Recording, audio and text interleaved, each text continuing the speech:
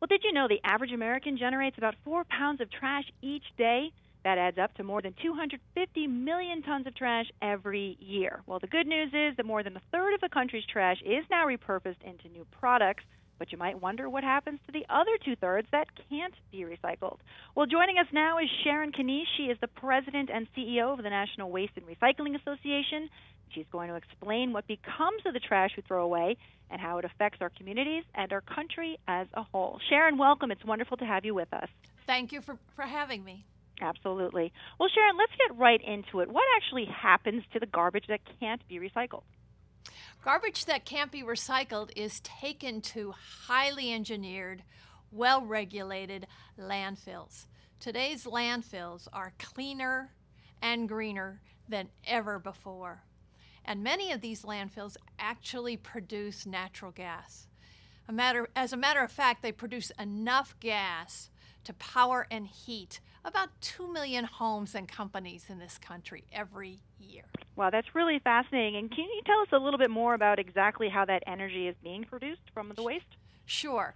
As trash is deposited in the landfill, it's covered with soil and eventually decomposes. Part of that decomposition is the generation of natural gas. So we extract that gas and send it to a power generation facility, and in some cases, it goes directly to fueling gas powered vehicles. Okay, wow, that is very interesting. Now, let's talk about how landfills are regulated when it comes to addressing safety and environmental concerns.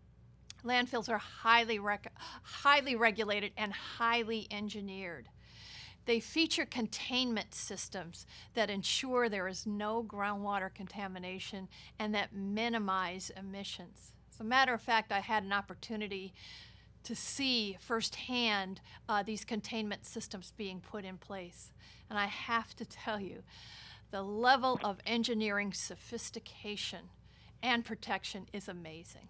Okay. Now, what would you say to people who are concerned that perhaps the U.S. is running out of landfill capacity? Are we?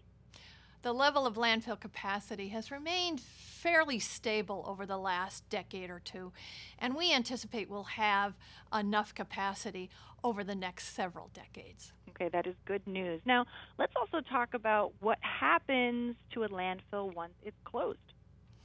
Once a landfill is closed, it is capped and monitored for many, many, many years.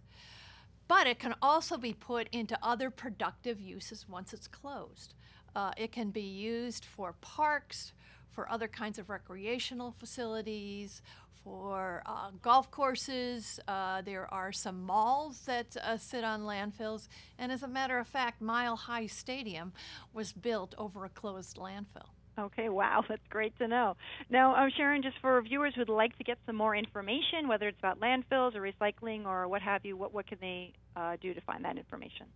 To learn more about how we handle all kinds of waste, including recycling, please go to beginwiththebin.com. Okay, easy to remember, beginwiththebin.com. And Sharon Kneiss, we appreciate your time today and uh, thank you again for joining us. Thanks for the opportunity.